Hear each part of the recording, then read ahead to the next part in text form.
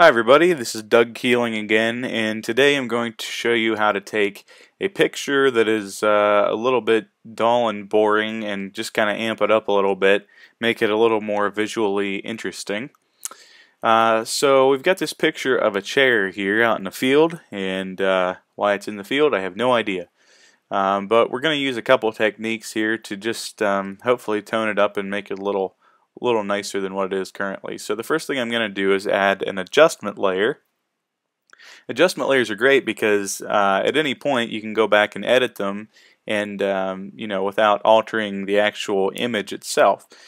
So what I'm going to do here is uh, take my brightness up to about 20 on the positive side, take my contrast up to about 20 as well, and uh, that looks pretty decent for now. We're going to keep that we can click the little uh, arrow, the little back arrow here, and we're going to add another one to it. We're going to add a curves adjustment layer. So pull that up. Over here you'll want to choose the green channel, and we're going to just click right on this line here and uh, drag it up and over to the left just a hair. Just uh, like that. That looks good. And um, I don't know if you were paying attention to the actual image when I slid that, but it just kind of boosts all of those green, uh, green colors, green hues, and so forth within the image. Uh, the next thing we're going to do, go back here to the adjustments, and I'm going to uh, add a hue and saturation uh, adjustment layer. And I'm just going to bump the saturation up, leave pretty much everything else the same. Bump the saturation up to, well, I think about 20 on that will be good too. Alright, that looks a little more vibrant there. Our field doesn't look quite so uh, dead. I don't know what the deal was with the picture. It just seemed a little little dull there. So, Alright, uh, the next thing that I'm going to do here now is to go over this image with a filter um, and hopefully bring out some of the edges and, and see what we can do there. So I'm going to go up to, uh, actually, first of all, I'm going to duplicate this layer. You can do it a couple ways. You can either drag the layer down over the new layer button and it'll create a copy. I'm going to undo that. Or you can just press on the keyboard Command or Control on the PC, uh, Command or Control J, and that creates the duplicate layer for you. Alright, so now on my duplicated layer, we're just going to call this High Pass like that. I'm going to go up to uh, filter menu down to other and choose high pass. And now um, in the preview you can see it kind of looks kind of kind of weird here. Um, I really can't explain what high pass does other than it, it finds all of these edges and uh, basically it basically just locates those and, and uh, kind of defines them a little bit um, if you're working with a really large image, you're going to want to increase the radius um, of of your your pixels here because otherwise it might not really do too much. Uh, obvi obviously, other than make it this sort of weird grayish, washed out kind of uh, image that you can see here. But in any case, I'm going to leave it at one one pixel for for what I've got. This is a image like sort of a regular standard screen resolution of 72 dpi and it's about 1400 pixels wide by 900 pixels tall, something like that. I'm going to click OK. Alright, so you're thinking, okay, what is the deal with this? This looks terrible. Um, what we're actually going to do is change the blend mode of that to overlay and then we're going to duplicate this layer, I think at least one more time. Let's go ahead and do that. So while that layer is selected, press Command J or Control J. And again, what this does with that in overlay mode is it takes all of those edges that it found and it just kind of uh, uh, makes them pop out a little bit more and, and you actually can see some of the graininess and the texture of uh, of the various things in the image kind of pop out a little bit. You don't want to go crazy with it. Um, you can actually do it to the point where everything sort of looks like it's got this hazy outline around it, and that doesn't look very good. Alright, so what I'm going to do now is select all of these layers, and I'm going to put them in a group by pressing Command or Control G, and there we've created our group. Now we can kind of compare the before and after that we have so far. So there's the before, there's the after. You can already see that it's a lot brighter.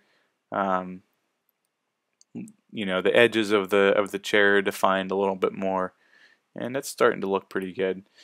I'm going to go down to my background layer now, and I'm going to press Command J again, create yet another copy of this. I'm going to drag it up above the high pass layers. I'm going to name it Blur. And I'm going to keep it below all of the adjustment layers because we want all of those things to still apply to it. Going to go up to the filter menu again, go to Blur and choose Gaussian Blur. And we're not going to go crazy uh, with blurring blurring this out too much. I'm just going to go, I guess 3 pixels is what it's set at, and that's pretty good. I'm just going to go ahead and click OK, 3 pixels. And so now we're all blurred out. Next, I'm going to add a layer mask to this. Uh, right down here, I don't know if you know what a layer mask is or what it does, uh, and so I'll show you. If you hold down the Alt or the Option button and you click on the mask icon for this layer, and you can see exactly what the mask is, which in this case is all white. Um, basically, everything that uh, go here, everything on the mask that's painted white um, will show through. So wherever the white is, that's the area that this layer will show throughout. If I paint on black into this area, um, let me just do that again. We'll see here, increase my brush size and make sure your default or your uh, your color is set to black there, your foreground color. I'm just going to paint around in there. Alright, so we've got this black. So basically what we should see is that uh, in this black area the layer won't be visible. So being that we're on the blurred layer, everything around here should be blurred, but the black area should be should be uh, clean because it's not showing. You know, everything underneath it's still showing. So let's check that out. And as you can see, um, everything in this area is crystal clear and this area is blurred. So basically what I want to just do here, I'm not a photographer so I don't know if this is exactly the right term, but um, just going to add more depth of field. So by bringing some things into focus, um, you're making the background look kind of further away or, or a little more, uh, you know, it's just, just blurred out. It just, it just doesn't look as close in any case, it kind of uh, makes things nice. So I've turned that uh, preview of the mask off. I've got my uh, foreground layer set to black, and I'm just going to take a pass right across here. So I'm going to hold the shift key down before I do it. That'll help me just draw it in a straight line.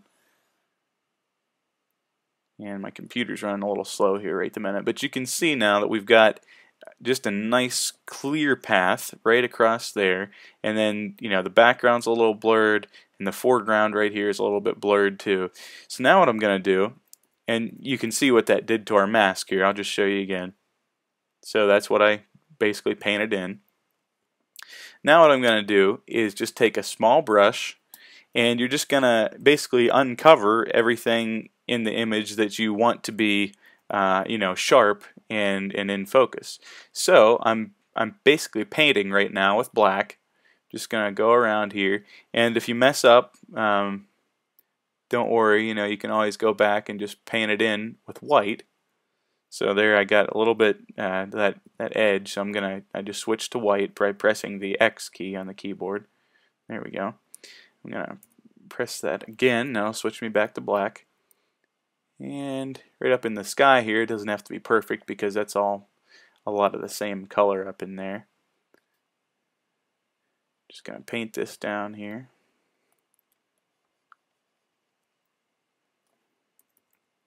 And you could spend a lot of time doing this kind of stuff depending on what uh, what your image looks like and, and all that. But I'm getting the, the edges here. And then I'll show you what we can do with the rest of it. So we've got most of it. Might just clean up a little bit around this so the the trees aren't showing at all and they're they're all pretty well blurred out. Just refine that edge just a hair. Alright, that's pretty good. Pretty good. Switch that. There we go. Alright, now I'm going to go back and show you this uh, mask layer. You can see, so we've got this area underneath the chair and then everything in here. Basically, we want this whole chair to be, uh, you know, bright and vivid and you can see it's all rough around there it doesn't really matter what the edges of it look like as long as you know they're not really affecting um, you know, as long as you can't really see it in the image. I'm going to switch my brush color to the foreground color, which is black, and then I'm just going to paint all inside this area with my brush. And that should be pretty good. Now I'm going to press the Alt key and click on this again. And we'll just want to go and, you know, clean up this area in here in the arm. That's pretty good. Alright. Great. Alright. So now if we compare, it's it's not going to be a major difference. It's it's going to be fairly subtle. Um, but if I just close this layer off, turn it off, you can see that the chair, you know, is obviously the picture, the grass here in this picture is is in a little more focus up here. But in this case, we've made this grass right right by where the chair is sitting pop out. Um, and everything behind it is just a little bit more blurred and, and in the background. And we've also, you know, isolated this chair a little bit to make it look like it's standing out apart from the background a little bit. Um, you know, like I said, just a way to kind of give it a little more interest. So, all right, we'll uh, show you the before again and swipe away to the after. And uh, hopefully you've enjoyed this tutorial. If uh, you have any questions or comments, feel free to leave those. And uh, looking forward to doing a few more of these tutorials. Hope you like them.